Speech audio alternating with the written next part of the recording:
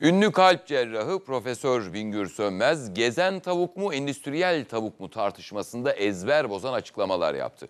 Sönmez, gezen tavuklardan insanlara hastalık bulaşma riskinin daha yüksek olduğunu söyledi. Sönmez ayrıca gezen tavuk yumurtasının da diğer yumurtalardan farklı olmadığını söyledi. Peki organik tavuk ve yumurta üreten çiftlik sahipleri bu açıklamalara ne diyor? İşte o tartışmanın ayrıntıları.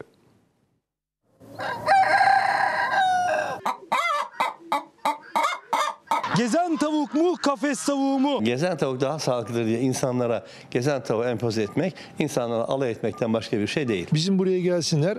Bir tane bu tavuktan keselim. Bir tane de öbür tavuktan keselim. Organik yumurta mı yoksa market yumurtası mı? Organik yumurta diye satılan, üzerinde dışkı bulunan, saman bulunan yumurtalardan salmonella bulaşma ihtimali çok yüksek ve yaşlılar için çok tehlikeli. İkisini bir tatsınlar. İnanılmaz bir lezzet farkı var.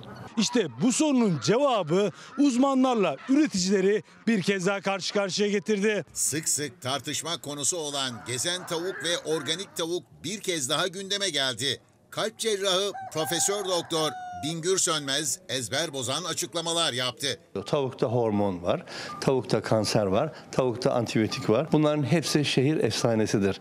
Tavukta hormon yok. Kanser bir ömür meselesidir. Yani 40 gün ömrü olan bir hayvan maksimum kanserojen maddeye maruz kalsa bile ömrü kanser olmak için yetmez. Sönmez'e göre endüstriyel tavuklara verilen ilaçlar kontrol altında. Bu nedenle insanlara bulaşma riski yok.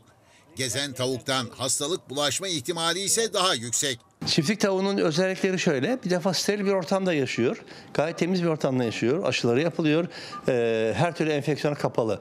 Gezen tavuk düşünün ki kuşlarla irtibatta ve kontrolsüz besleniyor. Çok kirli dışkılar, çok kirli yiyeceklerle beslendiği için de e, son derece sakıncalı. 100 sene evvele dönelim. Tabi bu tartıyı bizler yoktu ama tabi atalarımız yaşıyordu. Hepsi çok sağlıklıydı. Onlar köy yumurtası yiyorlardı. Köy tavuğu yiyorlardı. Hangi grup daha sağlam? Hangi grup daha kaliteli yaşadı?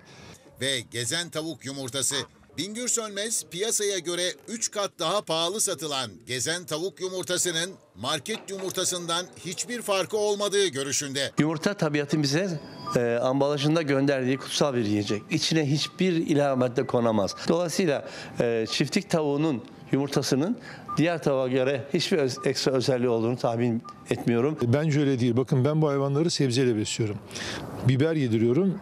Ee, eve götürdüğümde yumurtanın içi kıpkırmızı oluyor. Yani o gördüğünüz sarı kıpkırmızı oluyor. Şimdi bunu siz çiftlik yumurtasında yakalamaya çalışırsanız maalesef tırnak içine söylüyorum kullanmayanları ayırıyorum bu konuda boya katarak yapıyorlar. Peki yumurtanın taze olup olmadığını nasıl anlayacağız? Çok basit, küçük bir testle bunu anlamamız mümkün. Bunun için gerekli olan bir yumurta ve bir kova su. Yumurta böyle dibe batıyorsa şu an bu yumurta daha 24 saatlik olmadı. Dün akşam toplandı bu.